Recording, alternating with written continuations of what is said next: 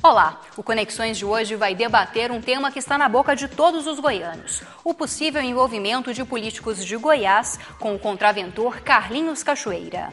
O programa vai mostrar quais são as implicações políticas e sociais de mais este escândalo e também as mobilizações que estão sendo feitas pelos goianos.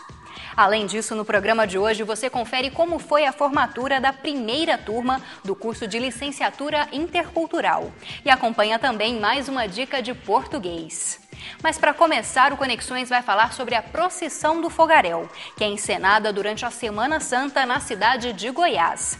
Esta tradição veio da Europa e era realizada na cidade até o início do século passado. Depois de passar anos esquecidas, ela foi reativada na década de 60 e hoje atrai milhares de pessoas para a antiga capital do estado.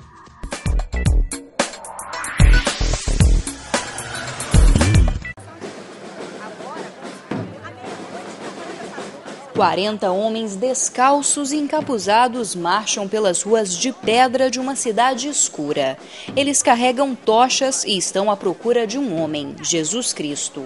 Estes são os farricocos, personagens principais da procissão do fogaréu, uma encenação que reconta a perseguição e a prisão de Cristo antes da crucificação.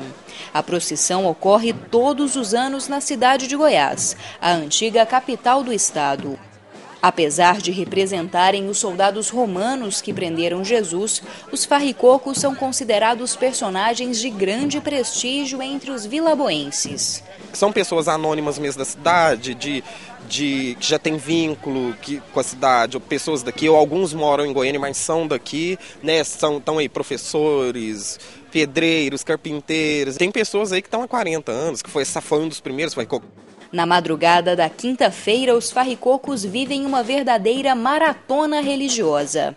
Caminham apressadamente entre milhares de pessoas e têm de lidar com o calor e a fumaça das tochas. O capuz ele já deixa a gente bem fechado. Né? O olho não dá visão para o chão, então nós temos que andar praticamente pelo instinto. Segue o que está na fila da frente. É, a questão do, da fumaça é insuportável. Agora, a questão religiosa é muito forte. Os farricocos são admirados por moradores, turistas e até mesmo pelas crianças, que participam de uma reprodução mirim da procissão do fogaréu. Mais de 100 alunos de duas escolas da cidade de Goiás participam da atividade que ocorre horas antes da procissão dos adultos. Os pequenos já demonstram apreço pela tradição. Né? Quando esses adultos já não tiverem mais condição, eles vão levar em frente essa tradição, que na verdade é uma tradição religiosa, mas também tem todo um caráter cênico, plástico. Uma mistura de festa popular e religiosidade. Assim é a procissão do Fogaréu, que deixou de ser encenada durante vários anos. E há cerca de quatro décadas voltou a ser um ato tradicional aqui na cidade de Goiás, um patrimônio histórico da humanidade. Resgata isso com o intuito de trazer turistas para a cidade de Goiás, porque a cidade de Goiás, com a transferência da capital, foi muito esvaziada, as pessoas foram embora, né? Procissão do fogaréu, ela é um espetáculo, ela é um teatro, né? Que é aquela coisa que se acontece a mesma coisa durante todos os anos. Independente da igreja, ela irá acontecer.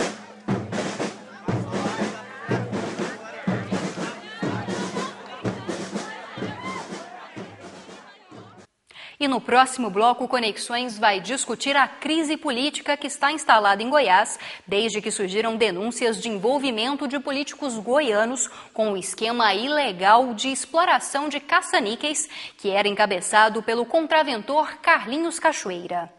Quem vai falar mais sobre esse assunto é o professor de Ciência Política da Faculdade de Ciências Sociais da UFG, Francisco Mata Machado. Não perca, é depois do intervalo. Mas antes disso, você confere o que as pessoas pensam que poderia resolver o problema da corrupção no Brasil é punição. Eu acho que qualquer político, policial, qualquer funcionário público que cometer qualquer erro, entendeu? E se ele fosse realmente punido, os outros tomariam como exemplo e não faria. Então o que acontece é o seguinte: faz e vira, vai para mídia e tudo, e eles sabem que não vai acontecer absolutamente nada. Eles têm que ser homem e honrar a palavra deles, que eles não fazem isso, só faz na hora de pedir o voto.